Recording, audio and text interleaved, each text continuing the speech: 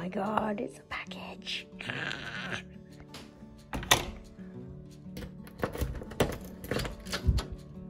oh my god, so beautiful.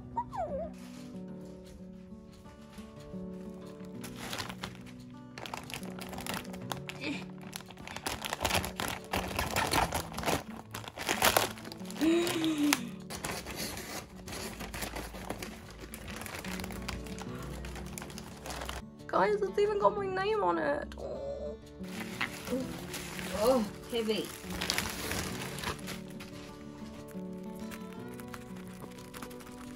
Go with my package. Let go of my package.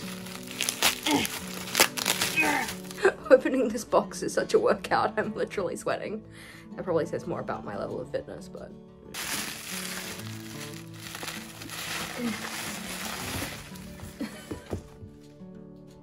I think it's upside down.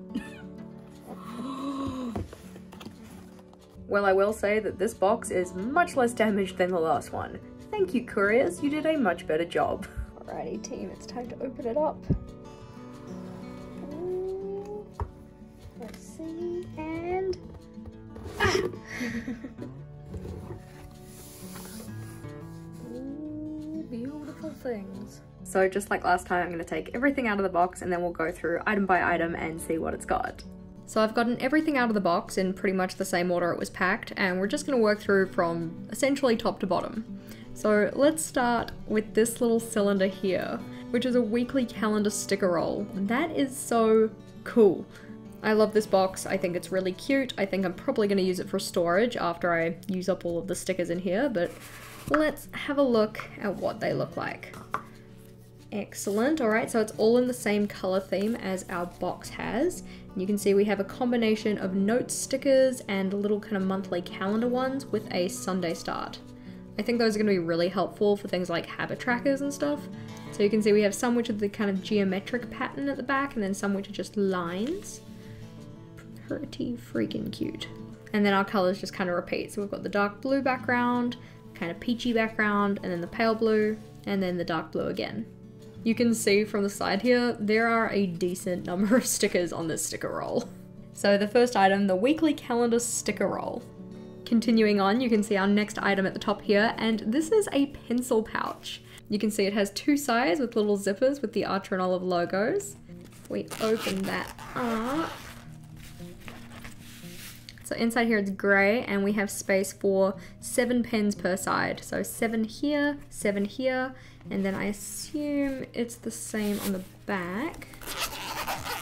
Yep, another seven and another seven. So enough space to hold 28 different pens. Let's have a look and see what fits into these. So our Inkjoy pen. There we go, that one certainly fits. We can use a Staedtler Tri Plus fine liner. Yep, that one certainly fits. Faber-Castell Pitt Artist Pen. Yep, that one fits as well. Tombow Dual Brush Marker, that one's quite a bit longer, so we'll see, we'll see if it fits on the end here. Yep, that one will just fit onto those end ones, because you can see this is kind of where the pencil case curves around, so if it fits there, it'll fit anywhere. Check to make sure it zips up. Yep, fabulous. Fits perfectly. So that is our second item for this box, the little pencil pouch with a little handle, two sides, 14 pens per side for a total of 28 pens. Up next we have this pretty little vellum envelope and I think I've got it upside down because I guess the top of the envelope would be here. And it's got this little kind of faux wax seal with the Archer and Olive logo in it. So open that one up. Aw, what a pretty postcard. I have the power to create change. And again, this is in the same color palette as the box and it has those kind of geometric elements on it. I think I might put this one on my wall. And of course this envelope I can use again for something else. So that's our third item, vellum envelope with little kind of decorative postcard inside. Now the next three items we're going to do all together and that are these little notebooks. I think they're technically supposed to be an A6 size, maybe just a little bit narrower, but let's jump into these, see what we've got in terms of covers, paper type, and paper colors. So our first one here is in this kind of charcoal box. And this one is a 112 page grid notebook in this kind of navy color. You can see that the charm we've got on this one is actually more of a rose gold than it is a regular gold, which is really pretty.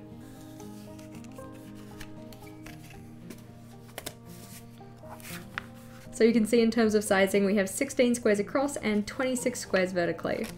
I think it's kind of like a pocket sized notebook, which is really cute. So that's the first one. Let's have a look at the next one. So this is the one in the light blue box. Opening that up. This one has a light blue cover. It kind of reminds me of denim. It's just a regular linen cover, but it's kind of got that textured look. Again, 112 pages, dot grid, but this one is craft paper. So same size again, and we've got that same rose gold little charm on the end. So one white dot grid, one craft dot grid. I think we can probably guess what might be coming next. So for the third one we've got here, this is in the warm grey box. So opening that up. Yep, you probably guessed it. This one is a blackout book. So we'll have black paper. Again, it's dot grid, it has 112 pages. We'll slip this off and have a look. So you can see same size again, nice little rose gold charm. If you've been here for more than one video, you probably know how I feel about blackout pages in terms of the way I like to journal, but this is another really cute notebook. I think it'd be actually really cool to use the three of them together as kind of like a swatch book system, so you can kind of swatch all of your pens onto them. That'd be a cool idea for these ones. You could possibly use them as little address books or maybe even like mini journals for like a page a day kind of thing. I'm not too sure what I'm going to use mine for yet, but those are a couple of ideas that I'm toying with. Just so that we can compare them in terms of size with an A5 journal. So this is my current A5 journal that I'm using, also from Archer and Olive. We'll get this one out and I'll show you what it looks like lined up against it. So you can see this one's an A5, which means in theory half of the size of this would be A6. So if we fit that there, you can see it's a little bit thinner than half the size, but in terms of this way, it is the same size.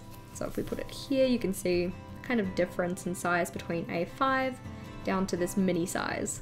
We'll have a look at it against a B6 as well. So this here in the green is the B6 size, and here's the one that came in the sub box. So with that we have items 4, 5, and 6. Our next item is probably one of the most exciting items in the box. It is a brand new thing for Archer and Olive, and that is these Calligraph brush pens. So they have a brush and a fine tip in one pen. So double-ended brush pens. You can see here it tells us we've got a set of five with three practice cards. And they come in this kind of magnetic box. Guys, even the box is pretty. Come on. Let's open it up though and have a look at the colors. So you can see we have our brush lettering guide for letters, our brush lettering guide for numbers, and a brush lettering guide with a quote. I am creating the life of my dreams. And here are the pins. Ooh, they are cute. I like the see-through tips. I think that's a cute touch. And we've got the color at the end of the pen as well. Obviously on the side, just like the Acrylograph pens have. Now, I know on the blog it said they had a mix between some of the pens having kind of twin tones, so like one color at one end and one color at the other. And then some pens were supposed to have the same color both. So I'm gonna get out some paper and we're gonna swatch these. Using my Archer and Olive sketch pad that I got from, I think it was the March subscription box. Alrighty, so starting with this one, like we said, we have two different tips. So you can see we've got the brush tip that's a bit thicker here, and at the other end we have that thin brush tip. That's cool. Because it's not like a bullet tip like a Tombow is, it's like another brush pen. Alrighty, so thick one, thin. Alrighty, so this is very much twin tone, so we've got kind of more of a golden color and then more of a peachy color. Moving on to our dark blue one. So these two colours do look a lot more similar to each other. To our mid blue. Those ones are similar, but you can see that the finer nib is darker. And then to our lighter blue. For this one you can see the distinct difference. So we've got that kind of really pale blue here and then kind of more of like a light dusty blue. And then for the grey, and for this one we've got kind of a warm grey and then a cool grey. Having a look at those colours a little bit closer up so you guys can see the twin tone nature of some of them. in particular the differences in the peachy coloured pen, the pale blue pen, and the grey. These ones are a very exciting new addition to Archer and Olive, so I'm excited to see what other colours they bring out in this range. Putting those ones back though, so that is our seventh item, the Calligraph brush pen set. On to our next item, the label on the front probably gives it away, but this is a sticker book. It says it has three sheets with a smooth matte finish. So in terms of these ones, these would be really good for a monthly setup. So we've got what all of the numbers for the days of the month with a couple of icons, some little washi strips and some decorative ones, and then little labels as well. So we've got habits, to-dos, important, notes, reminder, and to do again. And we've got two of that one by the looks of things. So one and two. And then we've got this one here, which we again have two of. This has labels for each day of the week. We've got some little hexagons for decoration, some other little decorative hexagon corners, some little boxes which are cute. I will just say I love the color palette of this box, like it is right up my alley. So two of those ones, and then another two of this one as well. So some more labels for the days of the week, some additional little decorative pieces, and then like a little note section as well. These ones are all that really nice matte finish, which are really pretty. These would be really good for a monthly setup. I'd actually be really tempted to do a monthly theme that had these colors just so I could use them. So that's the eighth item, the Smooth Matte Finish Sticker Book. On to the next one, you can see we're getting into the peachy coloured things here. This one we have a set of three little stick-in envelopes, again with those geometric patterns, which oh, they're so pretty. Each of these has tape on the back so that you can stick them wherever you want. I think these would be cool to add more storage into your journal, so at the front of your journal possibly, because obviously the back of the Archer and Olive journals you've got the gusseted pocket. Or you could use them for something like card making, or even just as like a decorative element in your monthly setup. I'm not too sure at this stage what I'm going to use them for, but this one in particular, I really like that pattern and I think the combination with the kind of bronzy rose gold and the blue is just really pretty. So that's item number 9, or I guess you could say number 9, 10 and 11, but we'll just say it's number 9. We have three little stick-in envelopes. Up next, and again, the title probably gives it away, but here we have a set of five colouring sheets. Of course, these could be coloured using those Calligraph pens. Let's pull them out and see what designs we've got though. So on this first one, we've got these geometric designs with these little leaf doodles as well. On the second one, we've got a kitty, again with some little leaves and a little butterfly. On this one, we have another geometric pattern, which is a lot more intricate. We have some gemstones, and then another quite detailed geometric pattern. I also just love that the little paper cover that these slip into also has these little cutouts. I think that's just a really cute detail. So our 10th item is colouring sheets. Honestly, I'm pretty sure that this box is my favourite one yet. I love the colour palette of everything in this one, and geometric patterns really speak to me. I'm not too sure what I'm going to do with some of the items just yet, or how I'm going to use them, in particular those mini journals. If you guys have any suggestions, please do leave them in the comment section. And also just if you have any questions about the box in general, I'd be curious to hear those as well. At the time of posting this, the subscription box is still open for new purchases. And although you can't use my discount code on this one, jashiicorrin10, if you wanted to support me and my channel, you can use my affiliate link which is in the description box. It doesn't cost you anything extra, but it's a really awesome way to support me. So a lot of goodies here to get excited about. Going through in order, we had the weekly calendar sticker roll, we have the pencil pouch, the vellum envelope with decorative postcard, the three mini journals in white, craft, and blackout pages, the calligraph brush pen set, our sticker book, our stick-in mini envelopes, and our colouring pages. Question of the day for you guys though, of the items in the sub box, which one do you think you'd be the most excited about or the most likely to use? If I had to pick just one, it would probably be the mini calendar stickers. I just think that's a genius idea and I really love that they're all in that pretty color palette.